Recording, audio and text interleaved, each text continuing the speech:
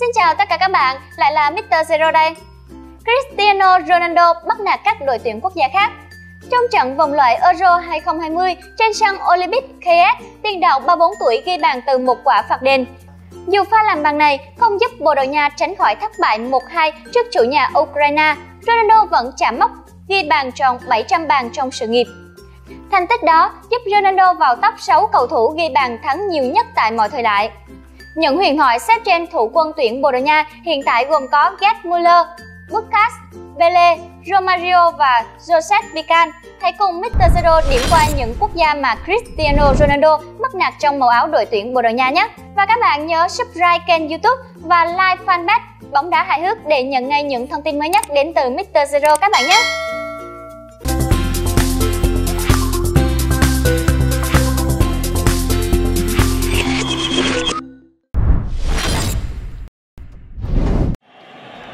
Stefan anti-fan rằng chỉ biết bắt nạt các đối thủ nhỏ bởi theo họ, chân sút người bồ chưa bao giờ xé lưới của những đại gia như Brazil, Đức, Pháp, Anh. Tuy nhiên, nhìn vào danh sách dài dằng dặc với 40 đội tuyển ở khắp các châu lục từng là nạn nhân của CR7, gồm cả những cái tên không hề soạn sỉnh, cỡ Bỉ, Croatia, Argentina, Tây Ban Nha hay Hà Lan. Người hâm mộ chân chính không khỏi giật mình. Hãy cùng Mr. Euro hôm nay xem anh Bảy nhà ta từng bắt nạt các đội tuyển quốc gia khác như thế nào. Các anti-fan ơi, cùng xem để giật mình cùng với chúng tôi nhé. I'm not afraid of getting physical. All these different chemicals are fogging up my visuals. Bloods on my hands, got slugs on my gunners. Yo, we notorious, we ain't no runners. Bloods on my hands, got slugs on my gunners. Yo, we some warriors, they ain't called gunners Bloods on my hands. Đầu tiên, với tuyển Bỉ, chúng ta có thể nhìn thấy được sự thay đổi của Ronaldo từ những ngày anh còn khoác áo số 17 cho đến khi cả thế giới phải ngưỡng mộ anh trong bộ áo số 7 hiện thời. Nhưng là thay đổi không quá nhiều đúng không nào? Vẫn là một Cristiano Ronaldo với pha đi bóng qua người bằng kỹ thuật Elastico. Trong những tình huống một đấu một và anh luôn vượt qua đối phương bằng kỹ năng khéo léo với sự kết hợp của cổ chân, đầu gối và nửa thân trên. Đánh lạc hướng được đối phương, anh Bảy thực hiện ngay màn đánh góp quả hán, dễ dàng để bóng được truyền qua đồng đội. Đương nhiên là cầu thủ Bỉ phải ngậm ngùi trong nỗi niềm bị lừa mất bóng vẫn tiếp tục là kỹ thuật Elastico. Lần này không phải là để truyền bóng, Ronaldo làm hàng phòng ngự của Bỉ, trở tay không kịp. Khi mà trái phải, bóng liên tục được di chuyển qua lại dưới chân anh. Lợi dụng thời cơ, anh Bảy tung luôn cú sút xa khiến người các đền của Bỉ ngã lăn xuống và khỏi phải nói. Bóng bay thẳng vào lưới trước sự ngơ ngác của các cầu thủ xứ Chocolate.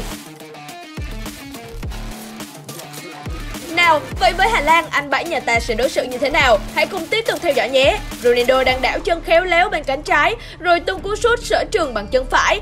Nhưng có vẻ chưa đủ độ khó để khuất phục Silesen.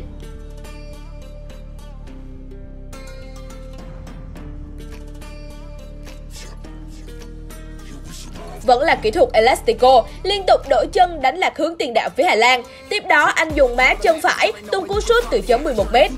Thủ môn chỉ biết chuồn chân đứng nhìn bóng bay vào lưới.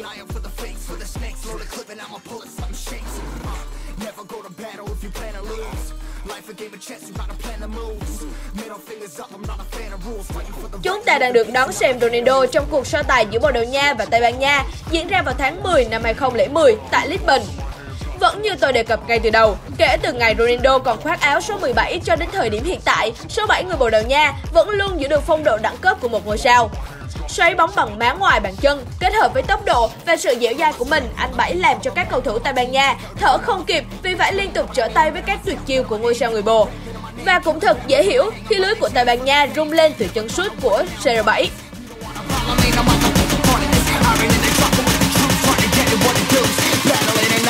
Lose. We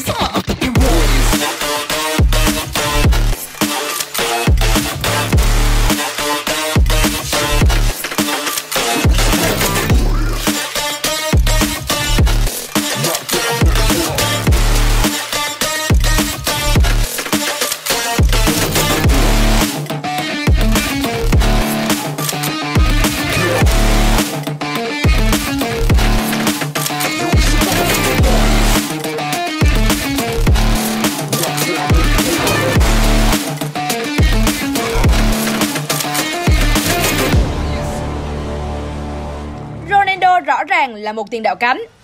Những người thường có hướng kiến tạo hơn là ghi bàn, dắt bóng xuất phát từ biên và đột phá vào trung lộ để tạo ra khoảng trống hoặc là phối hợp một hai. Nhưng tôi cũng xin chắc là anh cũng không phải là một tiền đạo cánh điển hình. Chúng ta có thể xem Ronaldo trong những pha chạm trán với Thụy Điển để được thấy rõ hơn. Ronaldo sử dụng kỹ năng tấn công trực diện từ trung lộ và uy hiếp đối phương bằng không chiến. Không phải người kiến tạo ra khoảng trống, Ronaldo có xu hướng tìm khoảng trống và di chuyển thật nhanh vào điểm mù của các hậu vệ. Với tốc độ và sức mạnh của mình cũng như khả năng xử lý rất nhanh vào thời điểm quyết định, bắt chết anh là điều không thể. Tuy nhiên, ta phải suýt xoa với cách anh bắn chết lưới nhà Thụy Điển, ngầu quá anh ơi. Nào, cùng xem cách Ronaldo bắt nạt các cầu thủ Luxembourg. Có vẻ như những pha soạt bóng, lá chắn phòng ngự của Luxembourg không làm cho anh Bảy lo lắng. Ở những trận với tuyển này, CR7 tiếp tục áp dụng kỹ thuật Elastico, dẫn bóng điệu nghệ lách qua hàng loạt cầu thủ Luxembourg đang khát bóng. Kế đó, anh dùng ngay những pha sau kim tinh tế làm cho các cầu thủ đối phương phải điêu đứng. Đúng là anh Bảy bắt nạt cũng phải thật xuất thần nhé.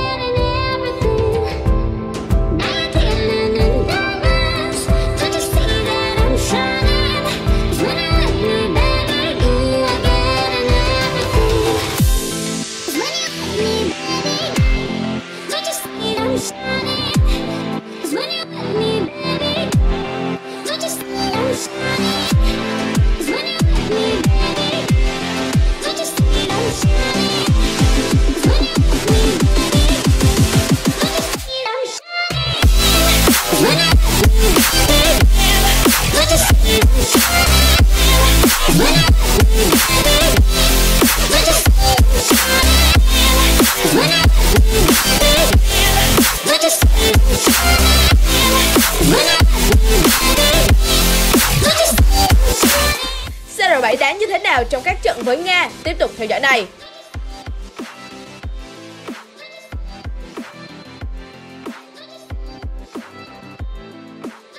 Wow, một pha sâu kim thân sầu từ anh Bảy khi bóng được lọt háng cầu thủ số 7 tuyển Nga.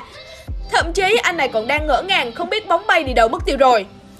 Đi bóng sát vùng biên, tiếp tục dẫn bóng qua những hàng phòng ngự tuyển Nga vẫn là kỹ thuật Elastico được anh áp dụng để đánh lạc hướng đối phương.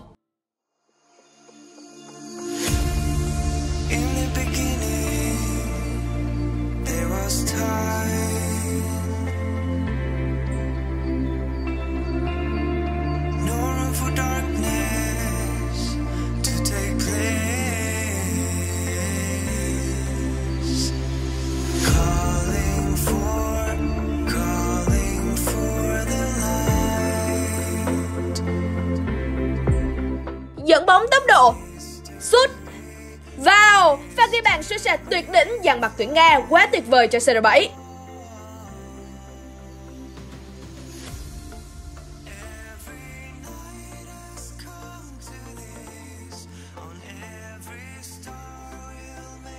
Cuối cùng, Mr. Zero xin mời bạn chiêm ngưỡng Cristiano Ronaldo trong những trận đấu với Kazakhstan.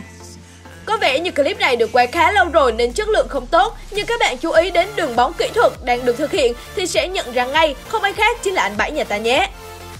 Dẫn bóng với tốc độ chóng mặt, CR7 bỏ ngỏ mọi rào cản từ các cầu thủ tuyển Kazakhstan. Vừa cạn mọi cú soạt cản phá đường bóng, đánh lạc hướng đối phương để chuyền bóng cho đồng đội ghi bàn. Quá hoàn hảo!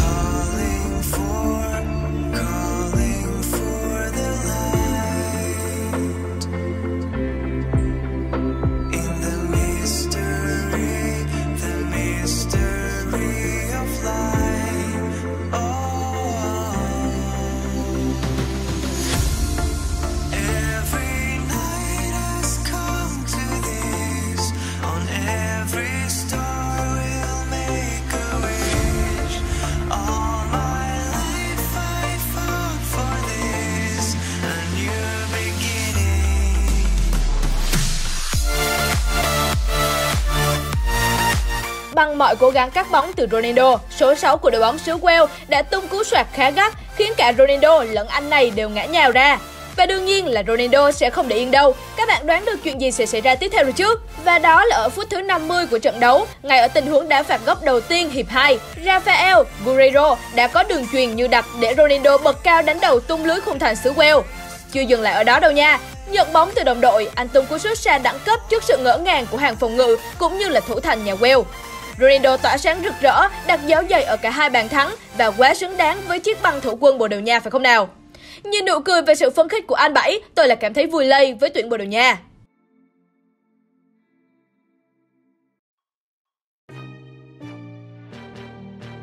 Có vẻ như Ronaldo đang biến sân cỏ trong trận với Hy Lạp như là sân tập vậy. Nhìn cách anh cùng đồng đội nhử bóng, cầu thủ số 10 bên phía Hy Lạp khá nhẹ nhàng. Vậy mà anh số 10 trông cực ghê. Thế rồi vẫn không thể cướp được bóng từ phía bồ. Vẫn là CR7 liên tục đổi chân giữ bóng, làm cầu thủ bên phía Hy Lạp mất tập trung. Anh khéo léo sau bóng qua hãng số 19 để truyền cho đồng đội đã tập kết phía sau. Tiếp tục độc diễn, CR7 băng qua hai hậu vệ nhà Hy Lạp, vẫn giữ được bóng cho đến khi số 8 lao đến sâu vào người Ronaldo, khiến cả hai ngã lăn ra. Và thế là xong rồi Hy Lạp ơi, cứ ai chơi xấu CR7 thì hậu quả sẽ là từ cánh phải, cầu thủ tuyển bồ tung cú sút xa chéo góc, CR7 chớp thời cơ, từng cú đánh đầu cực gắt vào lưới của Hy Lạp. Thậm chí anh các đền tuyển này trở tay không kịp, lưới nhà Hy Lạp rung lên trong sự phấn khích của tuyển Bồ Đào Nha. Cùng chúng mình xem lại pha ghi bàn đầy tinh tế này của anh Bảy nhé. yêu